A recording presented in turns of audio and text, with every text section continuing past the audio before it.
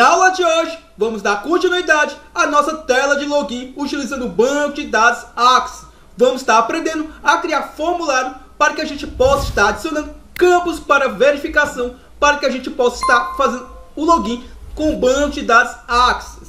Já gostou do tema da aula de hoje? Já deixa aquele gostei. Fica comigo até o final, porque eu vou lhe ensinar a ser produtivo com o nosso canal Programador Excel VBA. Para que você possa acompanhar o que vamos fazer na aula de hoje, é muito importante que você possa ter assistido a nossa aula anterior. Na descrição desse vídeo vai estar o link da nossa playlist completa.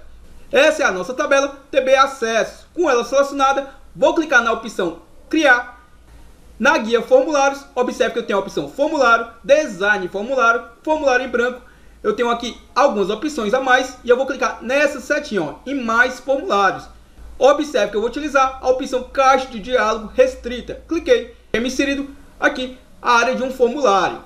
Para que eu possa começar a adicionar objetos para esse formulário, observe que dentro da minha guia design já me aparece aqui os objetos que eu posso estar adicionando para este formulário. O primeiro objeto que eu estarei adicionando ao nosso formulário será esse quadro, o frame. Ó. Vou clicar sobre ele e vou estar contornando dentro da área do formulário. Ó. Soltei. Observe que me aparece essa janelinha auxiliar e vou clicar no cancelar. Se observarmos sobre o meu frame, há um quadradinho aqui que eu posso estar especificando para que ele serve. Então vou clicar sobre ele e observe que eu vou digitar aqui login. Vou selecionar esse texto, observe que é bem simples fazer a formatação dele. Vou clicar em página inicial e vou estar mudando aqui para cor vermelha.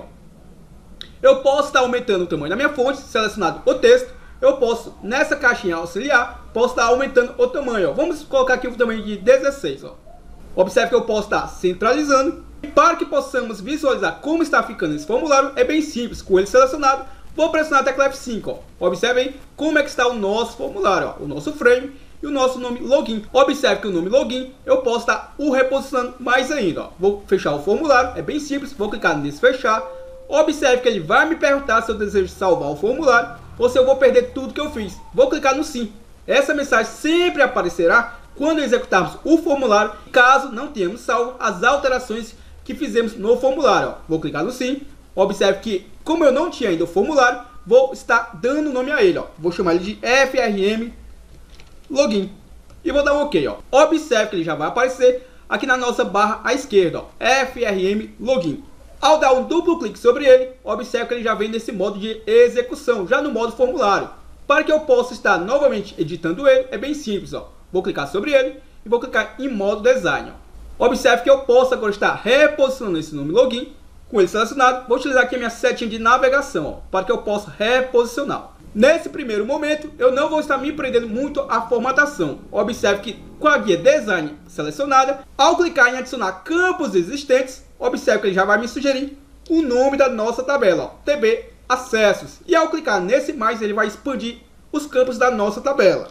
Vou clicar nesse mais e observe que agora é bem simples. Ó. Vou clicar sobre o campo usuário e observe que eu vou arrastar para dentro do nosso frame.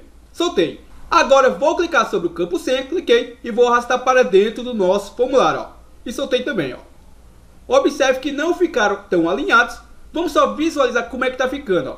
Primeiramente, vou estar salvando o formulário. Lembre-se, toda alteração que eu fizer nele, e caso eu não salve, quando eu tentar fechá-lo, ele sempre vai me forçar, me perguntando se eu devo salvar ou não. Caso eu não salve, eu perco tudo que eu fiz anteriormente. Então, toda vida que a gente fizer alguma alteração, vamos estar salvando o formulário. Vou clicar no salvar e vou pressionar agora a tecla F5. Ó. Observe como é que ficou os nossos campos. Então, agora vamos reposicionar os campos, ó, usuário e senha. Vou fechar o formulário. Observe que ele não fez mais aquela pergunta se eu devo salvar ou não, pois já havíamos salvo o formulário. Ó. Então eu vou clicar sobre ele, modo design. Agora vamos reposicionar. Para que eu possa reposicionar os campos, exige um pouquinho de atenção. Observe, ó. ao clicar sobre um campo, ao arrastar para onde eu queira, observe que vai acompanhar tanto o campo senha como o título. Então, para que eu possa arrastar apenas o campo específico, observe que eu vou clicar sempre nessa alçazinha, ó. Observe que eu sempre vou clicar nessa alça, nesse quadradinho. Ó. Então eu vou clicar nesse quadradinho e agora sim eu vou aproximar ele do meu campo 100. Ó. Reposicionei e soltei. Ó. Para que eu possa agora trazer esses campos para próximo do campo usuário, primeiramente vamos arrastar aqui o campo usuário e também vou trazer mais para o centro. Ó. Agora vamos arrastar o campo senha para mais próximo do campo usuário. Ó. e soltei. Salvei o formulário, vou pressionar a tecla F5, observe como ficou. O que é que vamos fazer agora? Ó? Vou fechar o formulário, vou clicar sobre ele, modo design. Vamos selecionar esse frame, que é o nosso quadro, e eu vou estar aumentando um pouco mais a sua área. Voltando à nossa guia design, agora vou adicionar um outro controle. Vou utilizar o rótulo, que é a nossa label lá do VBA. Vou clicar sobre essa letra A, cliquei, e vou contorná-la no nosso, sobre o nosso frame. Ó. E aqui eu vou estar digitando o texto que eu quero que apareça. Ó. Permissões para o usuário. Para que possamos formatar essa label, é bem simples. Vou clicar com o botão direito sobre ela e vai me aparecer essa opção, ó, propriedades. Ó. Ao clicar em propriedades, à minha direita vai aparecer as propriedades da nossa label.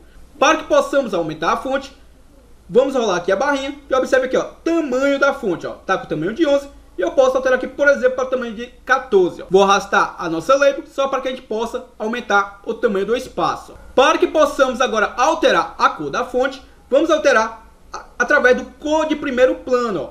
Ó. Observe que há uma caixinha aqui com três pontinhos, vou clicar sobre ela e observe que eu vou mudar para cor vermelha. Ó. Como eu havia dito, não vou me prender muito a questão de formatação nesse primeiro momento. Ó. E o que, que a gente vai fazer agora? Vamos trazer agora outros campos. Então vou clicar em Design, vou clicar em Frame e vou agora contornar o frame ao nosso formulário.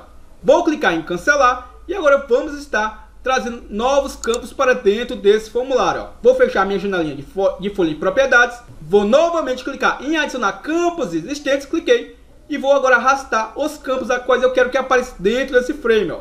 Vamos tentar arrastar mais de um campo por vez. Ó. Vou selecionar o campo clientes, com ele selecionado, vou pressionar a tecla Ctrl e também vou clicar agora sobre os demais campos que eu quero. Ó. Selecionei fornecedores, vendas e pesquisa. Soltei a tecla Ctrl e agora basta eu arrastar esses campos para dentro do nosso frame. Soltei.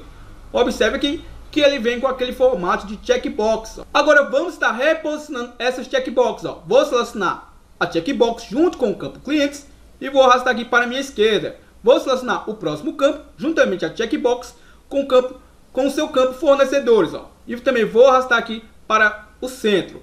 Agora é apenas questão de alinhamento. Ó. Vou selecionar aqui a checkbox junto com o campo vendas. Vou arrastar para a esquerda e vou selecionar aqui a checkbox juntamente com o campo pesquisas. Ó, e vou arrastar aqui para o centro. Ó. Para que possamos alinhar esses campos, vou selecionar ambos os campos e vou na guia organizar. E observe que aqui eu tenho trazer para frente, enviar para trás. E aqui eu tenho a opção alinhar aqui do lado. Ó. Vou clicar nessa setinha e eu vou tentar alinhar minha esquerda. Ó. Ele aproxima um campo do outro. Ó. Vou dar o Ctrl Z aqui para desfazer. Vou novamente clicar na nossa setinha e vamos clicar aqui em alinhar superior para ver o que acontece. Ó. Observe. Vou clicar no salvar, vou pressionar a tecla F5, observe como é que ficou aqui o nosso formulário. Ó. Então, para que você entenda, ó, aqui eu vou ter a opção para digitar o nome do usuário, a sua senha. E aqui eu vou estar podendo marcar as opções a quais esse usuário terá permissão, ou seja, se ele vai conseguir acessar o formulário clientes, se ele vai conseguir acessar o formulário fornecedores, como o formulário vendas, com o formulário pesquisas. Ao clicar em OK, a gente vai estar salvando os acessos que serão liberados para esse usuário. Então eu vou estar trazendo para o nosso canal uma série de vídeos utilizando o próprio banco de dados Axis para criar os formulários dentro do próprio banco. Então para que você possa estar assistindo todas essas aulas, é interessante que você possa deixar o seu gostei para entender que você quer a continuidade dessa nova série em nosso canal. Então eu vou parar por aqui para que a gente possa fazer vídeos não tão cansativos e você possa estar assimilando o conteúdo passo a passo. Conto com seu gostei para entender que você quer a continuidade dessa nova série. Eu tenho uma super dica a você. O site Tribo Digital, parceiro nosso, está com a super promoção em venda de planilhas. Isso mesmo, planilhas de disparo de e-mails, planilhas de contas a pagar, planilhas de envio de WhatsApp, planilhas de controle de estoque. Então acesse na descrição desse vídeo o link com o código promocional. Espero que você tenha deixado aquele gostei, pois é dessa forma que eu entendo que você gosta do nosso conteúdo e eu posso fazer mais vídeos para que você possa estar aprendendo a ser produtivo no Excel. Você ainda não é inscrito no canal Programador Excel VBA? Tá esperando o quê? Clica nesse botãozinho vermelho e se inscreva agora e aprenda Excel de forma gratuita. Aprenda a ser produtivo com o nosso canal Programador Excel VBA. now.